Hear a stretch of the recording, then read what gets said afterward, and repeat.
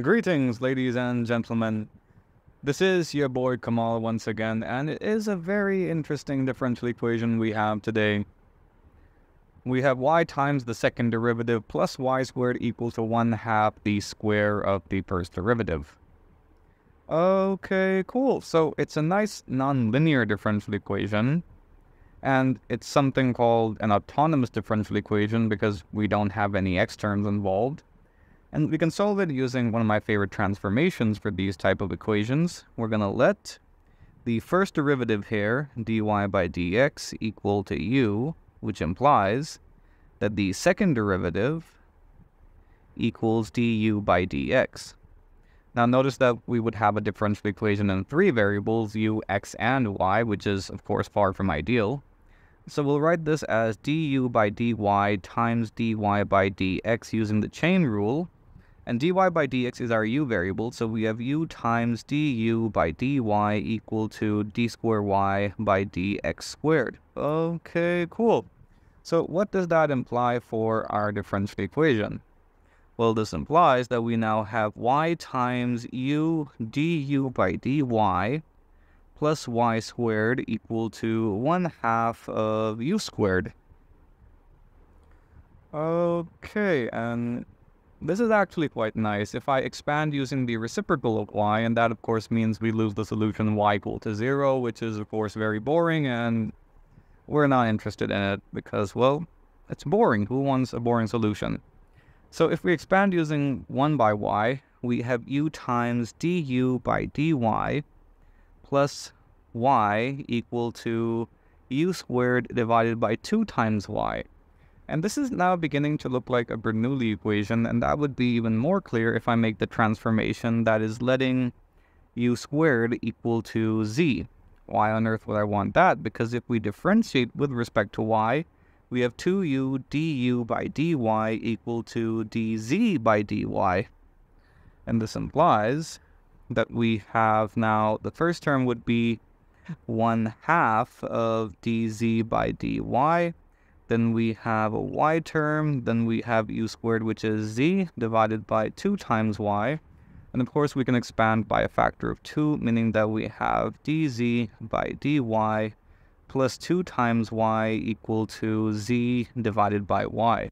Let's now write this in a slightly different manner. We're going to write this as dz by dy minus z divided by y equal to 2 times y negative 2y, that is, because we're in search of an integrating factor.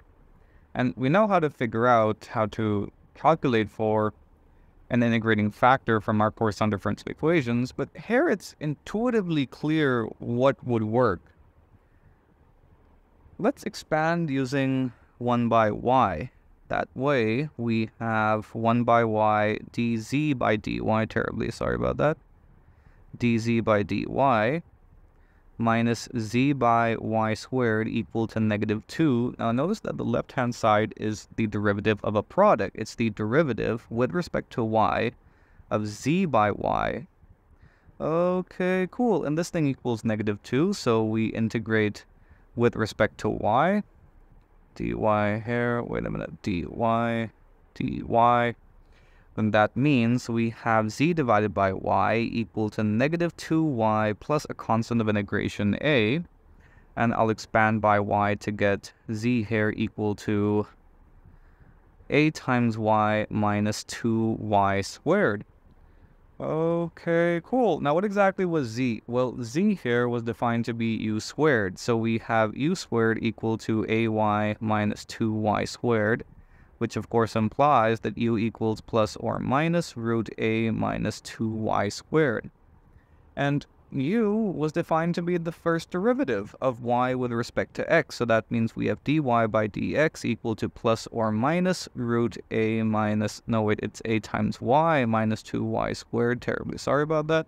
And now we have a nice separable differential equation to solve. On separation of variables, we have dy divided by root ay plus, no wait, it's minus 2y squared plus or minus equal to dx and we integrate both sides and that means we have x plus b on the right hand side but what about the integral on the left, we're going to let i here we call the integral of dy divided by root ay minus 2y squared.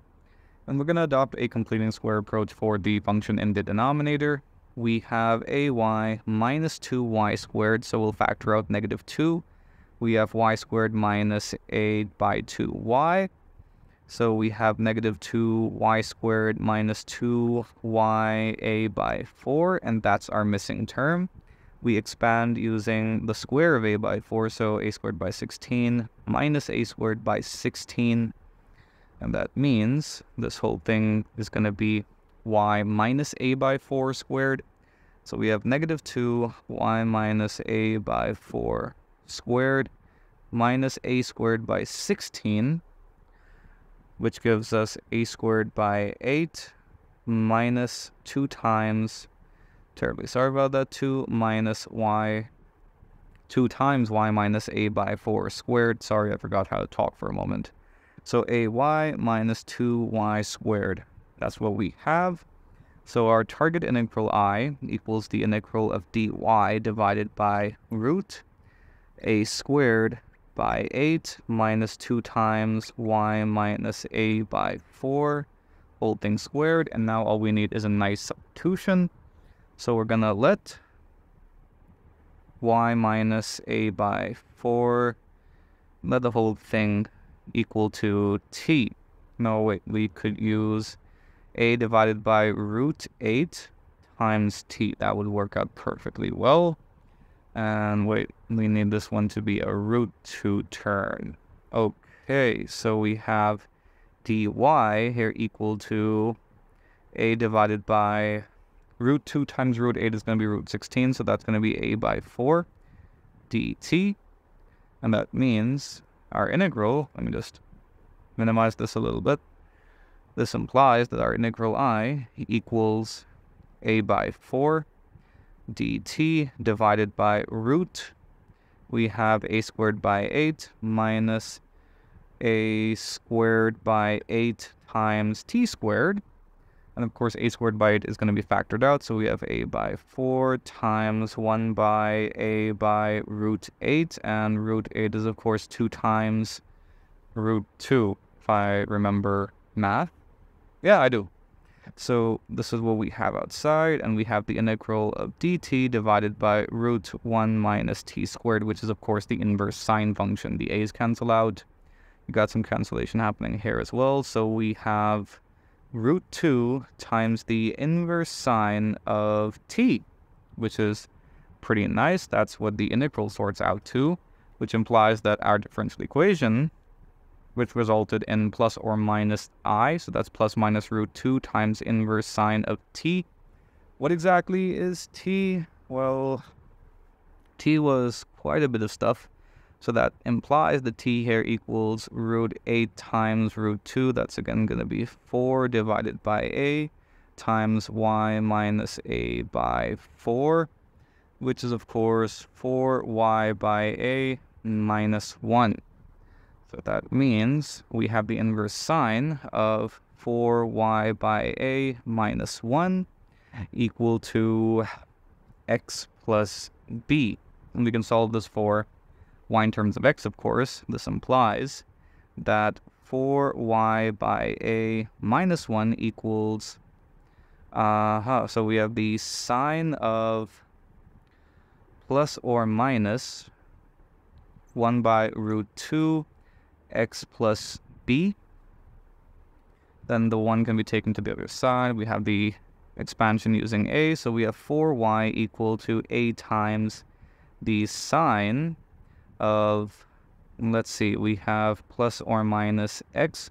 Well, the plus minus 1 by root 2 can be absorbed into b, so we'll call that b plus or minus x by root 2 mm, plus 1 and we can expand by the reciprocal of 4 as well and the 4 can be the 1 by 4 can be absorbed into y uh, into the constant a as well and that here is our solution of y in terms of x which solves our differential equation that was pretty fun i hope you enjoyed the video i hope you learned something from the video Be sure to like and subscribe. Do drop me a follow on Instagram. And in case you like the channel and the effort I'm putting out, consider supporting me on Patreon.